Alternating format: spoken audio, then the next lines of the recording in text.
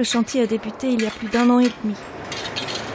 Des tonnes de gravats et de vieux placards sont charriés tous les jours.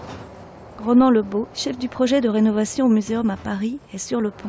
Euh, ben, il vient pas aujourd'hui alors. Euh, non, il vient pas, je pense Il pas. vient pas. La botaniste Odile Poncy, coordinatrice du chantier, commence sa tournée. T'as réussi à faire une palette complète Euh. Il va- il reste encore les 373, après les 202.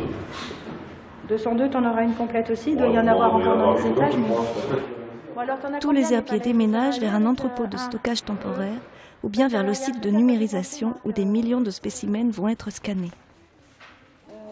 Plus. Ouais, on a fini pour l'alcothèque. C'est Ah bon. super, d'accord. Ok. je vais là. retrouver. Florent est là-bas Ouais. Je vais le retrouver pour, pour qu'on fasse un point. Odile Poncy traverse le chantier Graal où une partie des planches de l'herbier sont restaurées. Alors en fait, si tu veux, celui-là, je l'avais mis là parce que tu vois, le numéro c'est 107. Ah ouais. C'est juste après la tranche qu'on est en train de faire. Ouais. Et comme c'est une toute petite famille, j'ai pas envie qu'elle se. Mais je l'ai pas sur la liste. donc je- Non, donc tu on l'as pas, je mais en euh, hein, moi tout, c'est ça. Non, mais moi je vais la mettre là pour qu'elle aille à Bussy, peut-être même la semaine prochaine. hein. Mhm. À Bussy-Saint-Georges, en banlieue parisienne. C'est là que que se déroule la numérisation liste. des planches de Tu l'herbier. peux prendre un. Tu peux prendre une tournée de 400 aussi. Ouais, mais tu dois en- pouvoir en faire une encore. Et puis, euh, et puis de, la, de la 162, t'en as là aussi.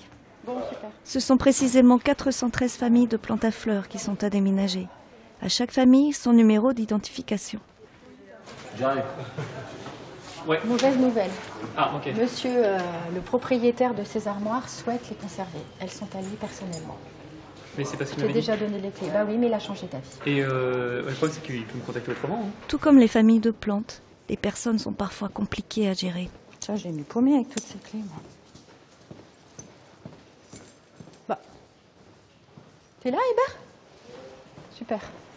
Eh ben, ils ont oublié. Qu'est-ce qu'ils m'ont dit qu'ils ont tout emporté au quatrième? Non, mais attends, je rêve là. Donc tout ça, euh, ça va rejoindre des cartons qui sont déjà en bas de la famille, euh, je sais plus quoi. euh, Je sais plus le numéro, mais c'est la famille des œillets. Voilà. Donc je, je le descends. S'il te plaît. Mais tu sais, c'est même pas la peine que tu les descendes toi. hein. Justement, si je vois qu'il y en a d'autres encore. Bah oui. Non, non, ils vont venir avec leur palette, hein, on va pas s'embêter. je fais, je descends les sabots. Je préfère, ouais, c'est une bien meilleure idée de descendre les sabots, puis peut-être ça aussi. Parce que tu sais que dans les déménagements, c'est toujours comme ça. C'est fini, et puis. euh,